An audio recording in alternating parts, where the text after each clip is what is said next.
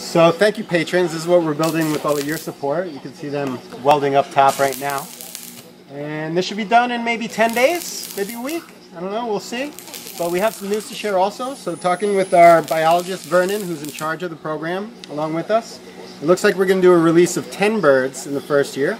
And then we have another six that were originally were going to be part of that release. There's another two that are growing uh, that were born a few months ago back in Barcelona. So they're going to join the group. We'll do a release in the second year of eight, and then by the third year, we'll have the ones that are born here on our site, and they'll be released in the third year, and every year forwards we'll be putting out hopefully 10 more.